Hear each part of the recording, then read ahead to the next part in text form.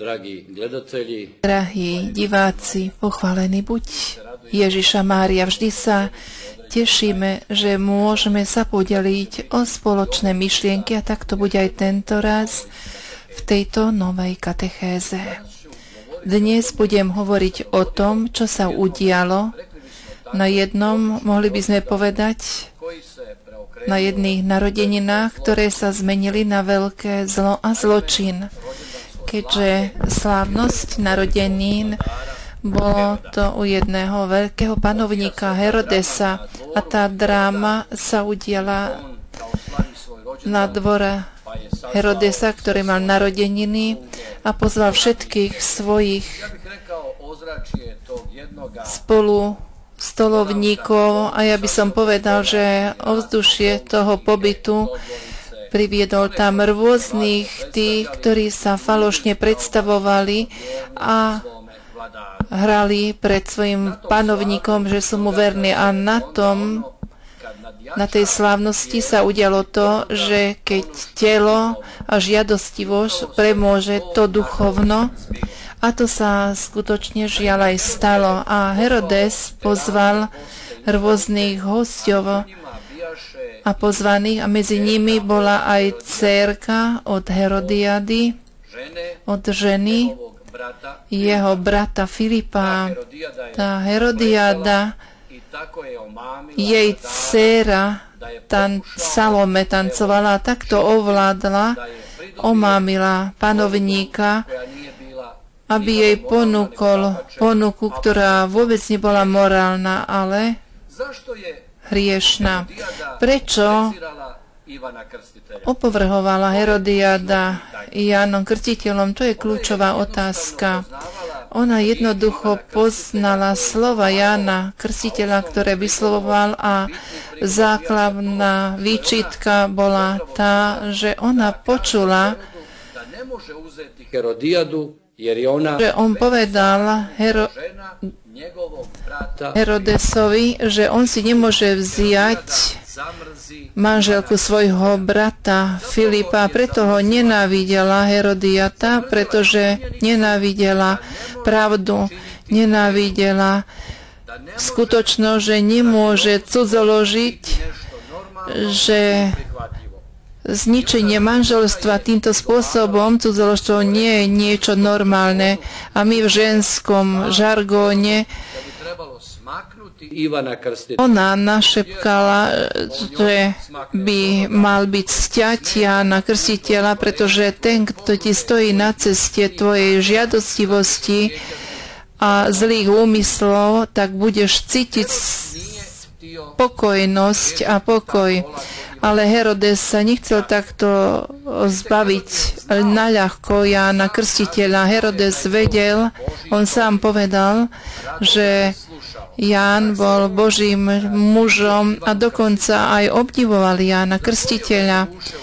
Zatvoril ho do väznici, ale nechcel jeho smrť, pretože sa bál a pocitoval strach. A potom na nahováranie ako on sám ponúkol Herodianej cerke Salome, že jej dá, čo bude chceť, nebol problém.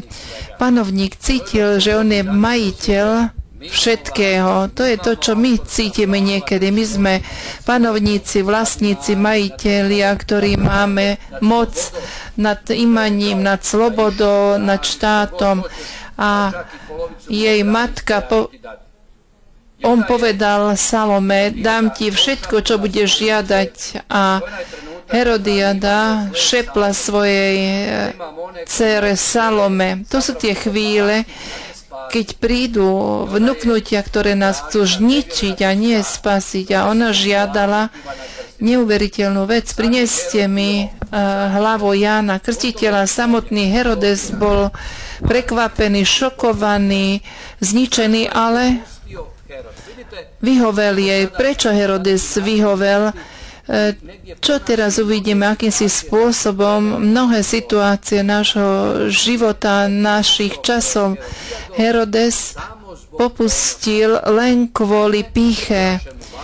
Čiže bolo mu dôležitejšie, že dodržal svoj sľub, pretože tam boli jeho spolupracovníci, boli tam tí, ktorí ho podporovali, ktorí mu tlieskali, ktorí boli v tom istom klane ako on. Pre ňo bolo dôležitejšie prestúpiť svoje svedomie a svoje postoj života, než vyzerať ako slaboch pred tými ľuďmi. A preto častokrát jeden človek hovoril, ktoré videl takéto cudzoložné veci. Stretol som mnohých ľudí, ktorí kvôli píche stratili lásku.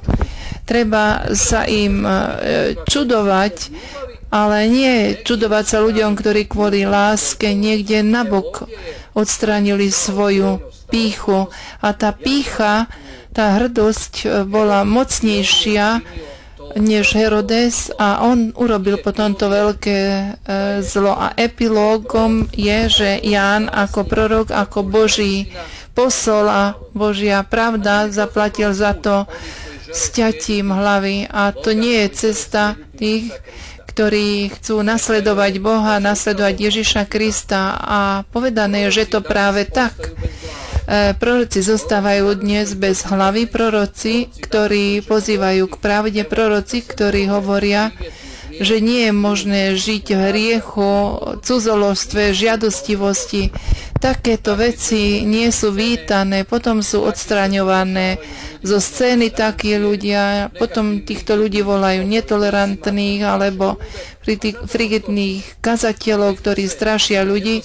A čo vlastne robia? Len hlásia učenie Ježiša Krista, čiže proroci budú stále prenasledovaní a to je seriál alebo cesta svätého Jana Krstiteľa v kontexte Medžugoria, pretože tieto katechézy hovoria o Medžugorí. Môžeme nájsť mnohých ľudí, ktorí ako Herodesi prišli sem ku kráľovnej pokoja našej matke, prišli zo sveta zábav, zo sveta telesnosti, e, zo sveta žiadostivosti, ľahkého života, ľahkých požitkov a konzumu. A potom tu v Medžugorí stratili tú hlavu sveta, ale dostali hlavu, ktorá rozmýšľa božsky a nové srdce dostali a práve tí ľudia tu v Mečokorí e, obratom, obrátením svojho života, tým falošným pýchov a falošnou hrdosťou dali nabok a prijali to, čo je Božia cesta a čo je Božia pravda. A vlastne udialo sa v ich živote tu obrátenia na rozdiel od Herodesa boli odvážni a putník musí byť odvážny, aby sa najprv stretol so svojimi slabosťami, aby vystúpil z toho dvora, pretože tam sa ponúka ľahkosť, aby opustil ten klan, aby vyšiel z toho, čo je zlo a prijal skutočnú pravdu, ktorú môže ponúknuť len Boh. To je to, čo je projekt, čo je Božie pozvanie, a čo je Božia ponuka. Pre pravé veci vždy musíme urobiť krok dopredu a nehľadieť, ako nás zažijú alebo vidia tí druhí, ale či skutočne to Božie budeme počúvať a či spoznáme vo svojom živote Božieho posla a povieme nie hriechu a tomu, čo je zlo prečítam niečo, čo napísal jeden veľký človek, Ďuro Šušnič.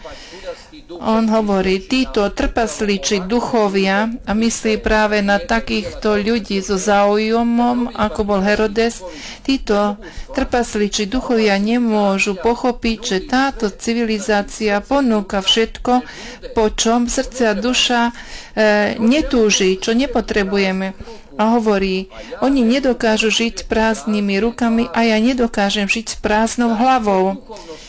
Aby som bol duchovne slobodný, hovorí on, súhlasil som s mnohými materiálnymi obeťami a materiálnymi stratami. Aby som mal plnú dušu, pokračuje, musel som mať prázdne ruky.